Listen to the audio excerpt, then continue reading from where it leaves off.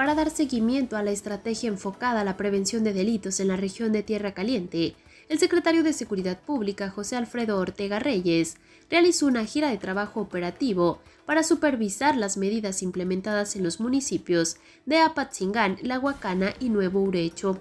Como primer punto, en Nuevo Urecho se efectuaron recorridos de vigilancia y disuasión del delito, así como un pase de lista y revista al armamento y a la documentación de los efectivos policiales, ello para acreditar que cuenten con la preparación necesaria para la función que ejercen de salvaguardar a la población. En el marco de este seguimiento, en la Huacana el titular de la SSP se reunió con el alcalde Rubén González Gómez para supervisar los avances que en materia de seguridad se han obtenido a través de la instalación de las bases de operaciones interinstitucionales, mismas en las que se planteó robustecer las labores enfocadas a mantener entornos de paz, informó para Red 113 Luz Más Cervantes.